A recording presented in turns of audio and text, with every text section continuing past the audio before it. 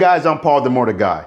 Now in this video, I'm going to show you just how your front wheel placement is affected depending on your fairing.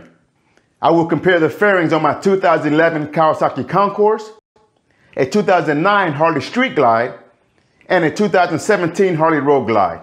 So hang tight.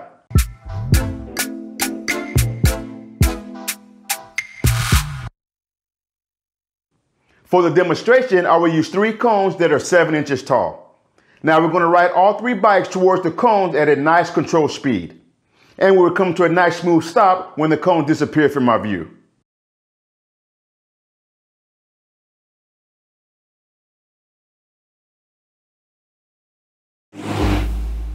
As you can see, each bike stopped at a different distance from the cone. The road glide stopped at 12 and a half inches from the cone. The street glide stopped at eight and a half inches from the cone and my concours stopped at six and a half inches from the cone. So as you can see, depending on what type of fairing you have, your perception of your front wheel placement could be different.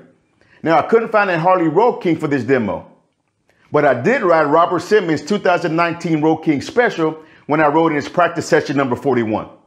Now, because of the clear windshield on the Road King, it was much easier for me to dial in my front wheel placement because the cone never disappears from my view.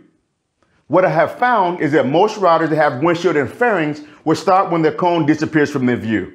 But now because of their windshield and their fairings, they think they're at the cone, but the front tire is actually short of the cone.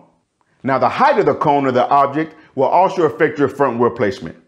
Now the smaller the cone or object, the further away you will stop from the cone. Now this is very important information if you want to dial in your front wheel placement. Now, I think that being able to put your front tire where you want it should be the goal of every rider because this will help you with your overall motorcycle placement, no matter if you're doing cone work or you're out there on the roadway. The drill I came up with to help you with this is what I call the front tire placement drill. Now, this drill will help you learn how to put your front tire in places with precision. Now, I recommend you watching this video where I go over how to do the front wheel placement exercise.